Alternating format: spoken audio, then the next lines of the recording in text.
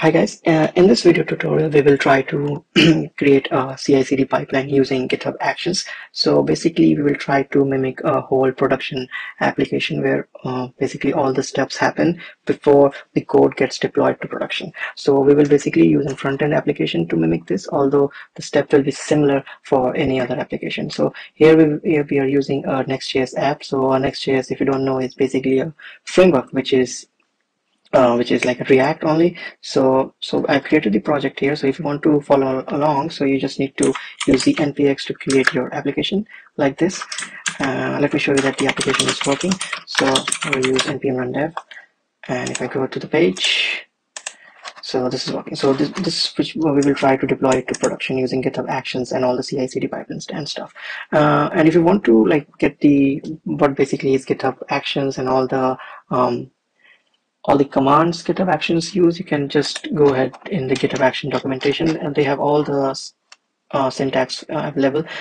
Uh, so let's get started. So let's get to the code base. So inside the code base, uh, in your root directory of your repository, I will create a new folder and this folder is basically going to be an hidden folder and its name should be exactly like this. So it should start with a period and then github. So basically using this only the github will understand that your repository has some workflows in it or the ci-cd pipeline is available in your repository. So i will create this folder and inside this folder only i will create another folder with the name of workflows. And this should also match Inside this work folder, we can have multiple workflows, but we will start with a simple one. So I will name, uh, name it as simple dot not JS, sorry, simple dot YML. So basically, uh, GitHub Actions uh, or any kind of uh, uh, CI/CD pipeline actions requires your files to be written in YAML mostly. So we'll use YAML for this. If you don't know YAML, it is very simple to understand. Uh, I will try to like add. I will try to um, explain what I'm going uh, to do in this uh, overall application using YAML. So uh, let's get to uh, let's get started. So first of all, the the the most important of them all is the name one. So basically, this tells the GitHub uh, Actions to this is the name of our pipeline. So I will name it as simple pipeline. This name can be anything. Okay. So the next one is basically an event. So this is um, we write it as on. So it basically is an event on what event we want our pipeline to be run. Uh, so I will use a simple event that is a push event. So basically if somebody pushes our code in any branches uh, in any branches we will use this one. So for this one I will use the main branch. But if you're working in a production application uh, the branches can be different. Like dev feature or something like that because you don't want to push your changes to main branch. Okay so what will this do if if I change if I push any code to the main branch this simple pipeline will start running. So we will uh, look later on how this really works. So this is the first thing you need to do and this is the most important one. So you can add multiple um, events here like push pull or something like that. You can add multiple here. You can also add different branch like this. So you can add it uh, like that only. So the next one is the jobs. So basically this will have all the jobs available in your pipeline listed. So this will have all the jobs listed in your pipeline.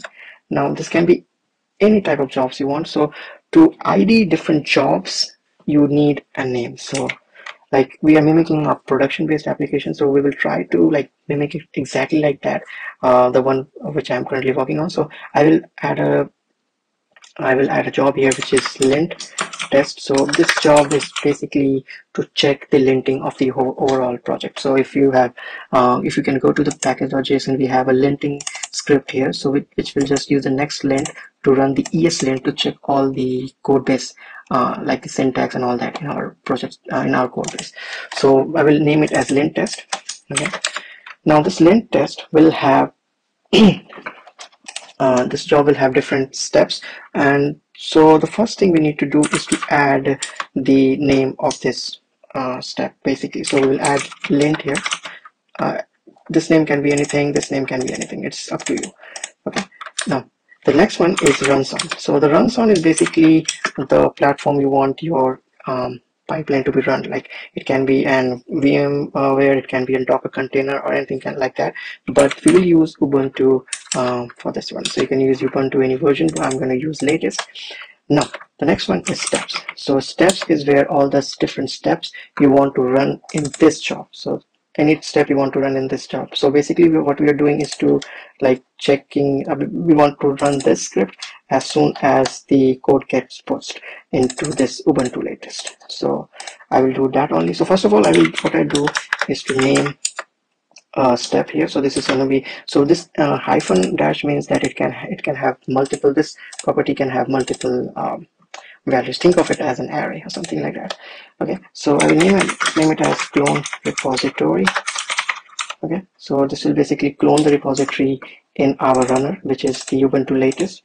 And it it will use with this uh, it will use a basic uh, predefined action which is defined by github actions. So this is actions checkout at the rate v2 so this will basically check out the main branch. Okay after that uh, what we're going to use is to install the dependencies of this project. So if you are uh, working with a node.js project you what you do is to just install the dependency using npm install.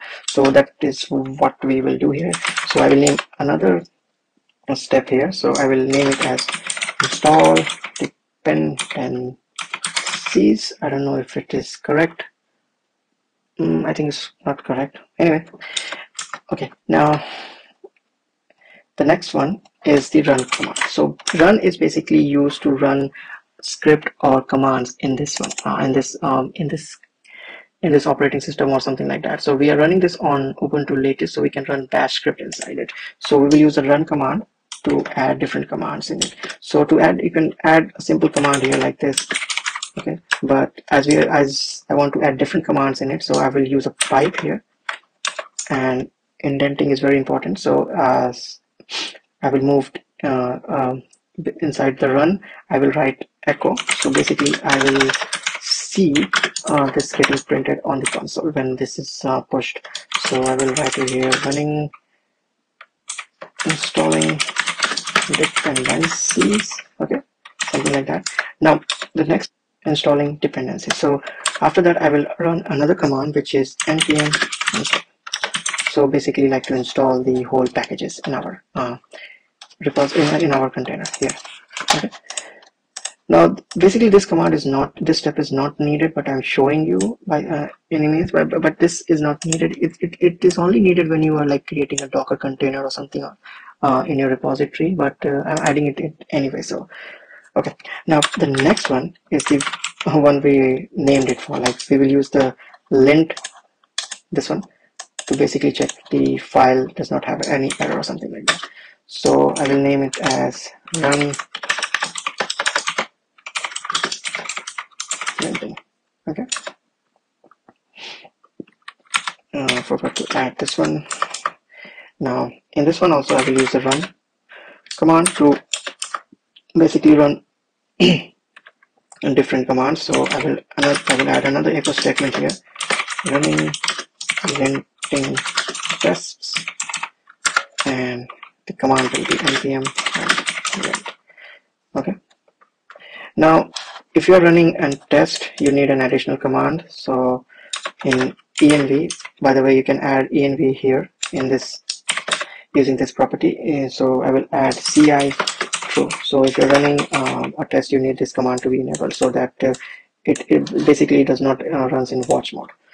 Okay so this this step is done. So let me show you how this will look if we push the code to the github um, repository. So to do that so all uh, let me go to the root directory. So I've already created the repository. So let's go to uh, github and create a new repository. So I will name it as something like test tools CICD and everything is fine. I'm going to create a repository. So this step is done. This is also done. So I will add this one. So I will add git add. Will basically add the whole code. I will commit it and I will name it as initial commit. Okay. And then I will add this remote origin and then I will push the code. Okay, if I refresh it, I can see our workflows is also here. But as soon as I post it, you can see this um, on the action tab. You can see that the initial commit, the commit name, and the pipeline, which is the simple pipeline, started run, running. So this is started running. If you click on this one, you will see the steps it started. So clone the repository did that. It is running the dependencies and like this is the step it is following. So this is the clone repository then the install dependencies this one and then the linting this one. And if you can if you want to see the um, logs of it you can simply click on this uh, drop down and you can see all the logs. So you can see the logs which we echoed in the code. Now so our first job is completed. Now let's get to writing some another job. So this one is done. So lint test is done. Okay. Now let's add some another jobs here. So I will basically copy this one only okay. So I, this name should be different. This is the uh, name which github actually basically id your test uh, CI/CD uh, basically CI/CD pipeline. So this name should be different. This must be unique. Now the second one I will name it as simply as security check. Okay. And I will name this as security check. Now I, I, okay. So this one is done. So I've added a security check here. And basically it will do the same thing but I'm not going to uh, clone the repository in this step. So I'm going to remove that okay? And yes I'm going to use the run on runs on Ubuntu latest. I don't want to uh, install the dependency again so I'm going to remove this one also. Basically I'm going to remove everything in the steps. I will add a new step here. So I will basically create a dummy step here. So I will write it something like check for security where you basically add uh, security checks. So I will add this one. And simply in the run command I will use echo running security checks like that. Okay so this will echo like this test is running for security. And what I will do is to add a sleep here. So I will show you that after like having five seconds sleep this step will be stopped. Okay? And after that I will basically uh, mimic this. Oh sorry basically copy and paste this couple of times. I will show you what I'm doing here. Okay?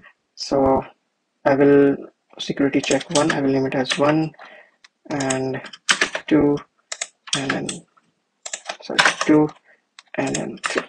Okay? So all this check will be run after five seconds. So this one will run then five seconds later this one will run then five seconds later this one will run and so on. So let's get to this and let's push this code and see if it is working. So I will add the file. I will push the changes. So I will commit the changes. And I will add the message and get security checks. And then I will push. Okay. As soon as I will push it it will create another action. Adding security check and as you can see we have two different uh, stages in this one. So lint and security check. And if we go to security check it will basically wait for five five seconds before that you can see the security running checks too. So this one is running. And after some time after five seconds this will return true and this will complete the uh, whole actions okay so our this action is also passed. Okay now we will just create a last one and see uh, how the basically if if if, if there is a case where we want another um, job to run after this or after both this job pass like the linting and the security check is passed then only I want to build, build the image and push to production. So that that part we are gonna do. So for that I will add.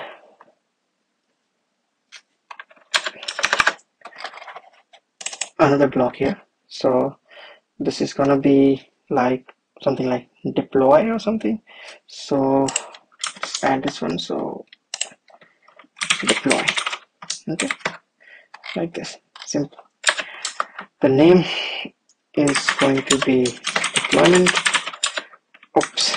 Running deployment this will also runs on Ubuntu latest. Okay. Now basically this needs so this stage this stage needs that our lint test and security check to be completed. Then only this will run. Okay. Lint test and security check when this test port passes then only this test will run. So this is the criteria for running this stage. Okay. Now in this one I will use the same thing. I will basically copy this one and just echo something on the console okay. So steps and runs. I don't want to install any dependencies I will have I will copy this one again. And yeah deployment. Okay progress okay. Now let's go again push the changes. So hit add. Uh, let's do it in one line. Only git commit am add it.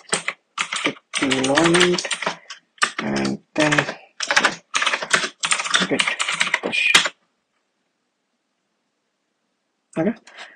Now if we go to the action tab again you can see it's adding the deployment part. And now you can see this step will only run the deployment one which is this one will only run after this two passes. Okay. So we will wait around 10 seconds and see if this works okay now you can see that the deployment part is done. So after this both test passes our deployment is ready. Now I will show you like what happens if something happens in our linting and the test basically fails. Okay? So for that uh, what I did is uh, on ESLint I add a rule here basically to throw an error.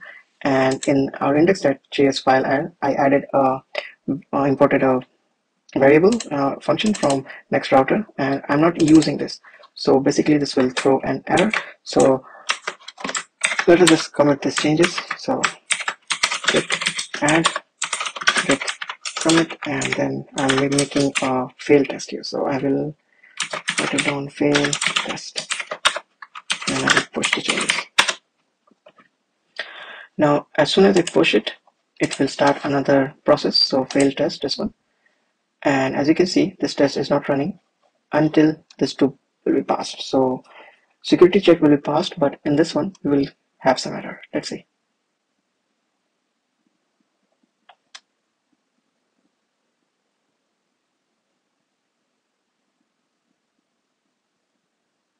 Look, so linting is failed, so this one will not run. So basically, the whole test failed. Uh, the whole CI/CD pipeline failed because one of the test is uh, failed.